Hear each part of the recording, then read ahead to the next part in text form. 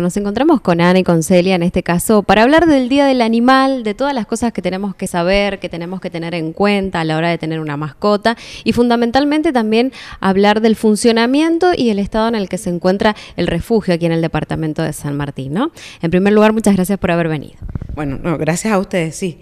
Eh, nosotros les queríamos comentar lo que tenemos planeado para el Día del Animal, que es, Dios mediante, lo vamos a hacer el día miércoles primero de mayo, porque bueno, el Día del Animal cae lunes y es muy complicado. Lo que tenemos organizado es una visita al refugio. Cualquier persona que quiera ir, que quiera estar un rato con nuestros perros, puede acercarse ese día desde las 3 hasta las 6 de la tarde y puede ir solamente a hacerles compañía o si quiere ayudarlos con algo, puede llevarle unas galletitas, algo para jugar, alimento. Bueno, eh, en nuestra página siempre nosotros pedimos nuestras necesidades. Pero ese día quisiéramos que más que nada vayan a estar con ellos. Así que bueno, los esperamos ese día. Esperamos que venga mucha gente. El año pasado realmente eh, fue muchísima gente. Y como fue durante todo el día, se nos complicó un, poco con nuestras actividades. Entonces este año lo hemos acotado un poco para que... Eh, poderlos atender mejor a los que vayan y que los perros disfruten más, porque si no la gente que va como que se concentra toda en un lugar y hay otros perritos que quedan sin compañía.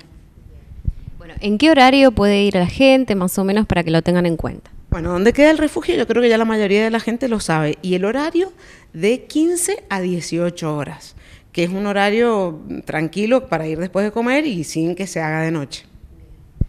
Y contanos un poquito cómo vienen trabajando ¿no? en el refugio, porque sabemos que tienen muchos perritos, eh, hay gente que quiere adoptar por ahí, puede acercarse también.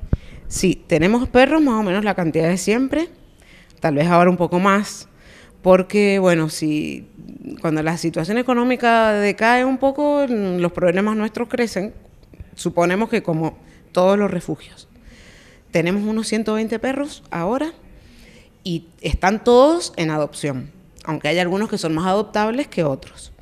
Eh, los ofrecemos en adopción, están todos esterilizados, están vacunados, están desparasitados y lo único que nosotros le pedimos a la gente es que sea muy responsable a la hora de adoptar. No damos perros para que cuiden, no damos perros para tenerlos atados. Si es una mascota, tiene que compartir con la familia, o sea, no es que la tengan, no sé, en el fondo, en una piecita, el que se lleva un cachorro tiene que entender que el cachorro tiene un tiempo que rompe y que molesta y que después ese tiempo va a pasar, pero que demora unos meses. Eh, por eso mucha gente últimamente se está volcando a adoptar perros adultos, eh, lo cual para nosotros es maravilloso, porque generalmente un perro adulto es más difícil de regalar. Pero no sé si entendiendo este tema de los daños o qué, pero cada vez más gente adopta perros adultos y eso es lo que nosotros queremos. Y también tenemos muchos perritos que son discapacitados. Tenemos perritos que no ven bien, que les falta una patita, eh, bueno, un montón de, problemas y eso nos gustaría mucho que consigan casa eh, antes de morirse, porque a veces muchos de ellos terminan muriendo ahí en el refugio y es muy triste, porque muchos han tenido familia y cuando les pasó eso, eh, se deshicieron de ellos. Y también es importante recordar, ¿no? Por allí la gente que quiere ayudar, que quiere colaborar, ¿cómo puede hacerlo? Mira, nosotros tenemos una página de Facebook y casi todas las consultas, los pedidos, las donaciones, los canalizamos por ahí. Eh, la página es Refugio Ampara. Contestamos generalmente de inmediato cuando alguien nos escribe. Así que lo que sea, nos lo pueden preguntar por ahí, si nos quieren pasar fotos, si son animales perdidos, animales en adopción, lo que sea. Y también tenemos para recibir donaciones una cuenta bancaria que toda la información está en la página.